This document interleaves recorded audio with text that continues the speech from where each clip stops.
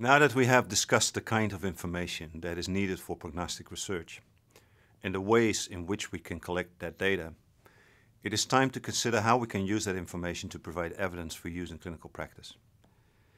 Imagine that longitudinal study we designed previously for our lymphoma research question has already been conducted. We enrolled patients over a period of time and measured a range of patient characteristics at baseline, including general information, medical conditions, disease-specific information, biochemistry, and treatment information. We followed that group of patients for five years and recorded their follow-up time up until one of three situations. The patient died, the patient left the study for another reason, or up until the end of the five-year follow-up period, indicating that they survived for five years after baseline. We have a wealth of information available, but before we discuss how to analyze this information, we should remind ourselves of the aim of our study. Remember, in prognostic research, the goal is to provide clinicians and patients with accurate, patient-specific prognostic predictions, and the end result should be an absolute value that clinicians give to their patients and use to make decisions. How can we provide clinicians with the means of reaching these predictions based on the information we have collected in our study. Commonly, the information collected in prognostic studies is used to develop a clinical prediction rule, usually based on some kind of multivariable regression model. These models can be as simplistic or complex as needed and often must strike a balance between prediction accuracy and practicality. So what exactly is a prediction rule?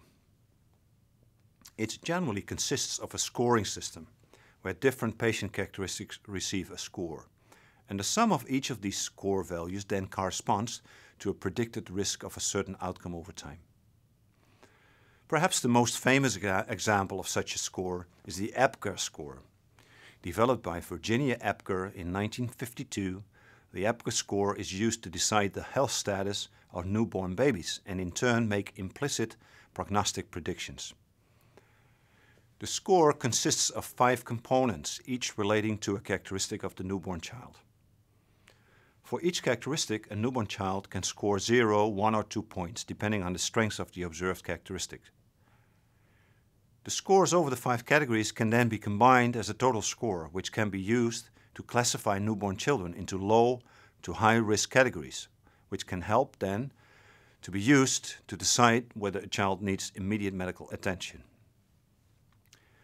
More complex prognostic models are generally developed by fitting some kind of multivariable regression model to a set of empirical data. There are various ways to do this, but the most essential points to remember are that the method you choose should utilize your data fully, and the end result should be something that can be used in practice. So for example, if follow-up time was collected, you may want to consider approaches that can use that properties, such as a Cox proportional, proportional hazard model. A frequent problem that researchers come across while developing a prognostic model is the issue of which predictors they should include in their model. As mentioned in a previous lecture, it is essential that you make some kind of choice during the design phase of your study so that you only collect relevant information.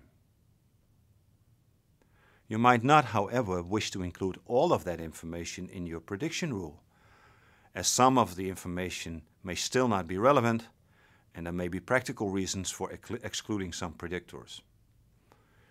The ideal way to do this is by making a pre-selection of predictors based on evidence from the literature or experts in the subject. The next approach is to use selection techniques based on statistical criteria.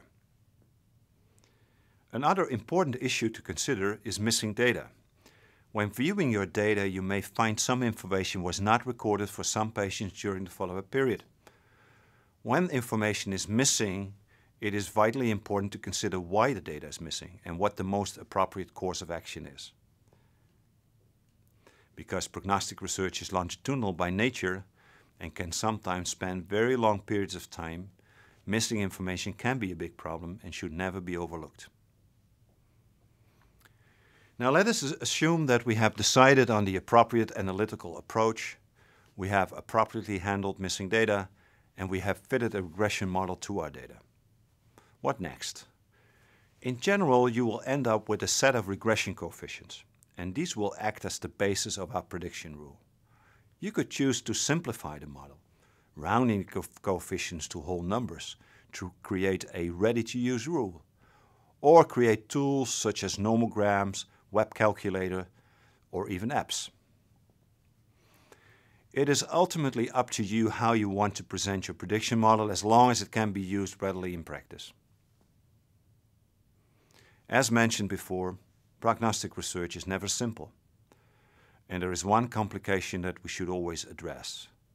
That is, most of the time when a new prediction model is applied in practice, it performs more poorly than it did in the original study. And why is this? Well, even the best prognostic studies are limited in that they cannot include everyone. The data that you use to develop your prediction rule is only based on a small representation of the whole clinical domain.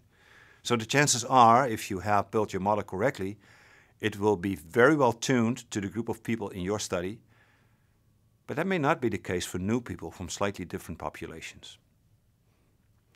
If you want your fellow clinicians to trust in your research and apply it in new patients, you need to convince them that your prediction rule can be accurate in new populations.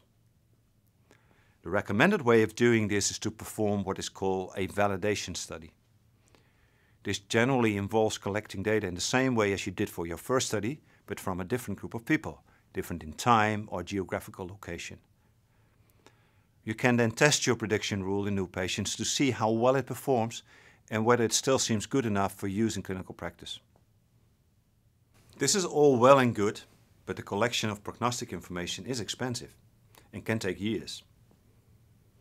Imagine having to wait another five years to collect information for a validation study of our lymphoma model. And to make things worse, your validation study might seem less convincing to clinicians if you yourself perform it. You have already invested a lot into developing your prediction rule, so it could be hard to objectively assess its performance. One way to get around this is through collaboration. It is becoming increasingly common for development and validation studies to be conducted simultaneously at different centers by different research groups.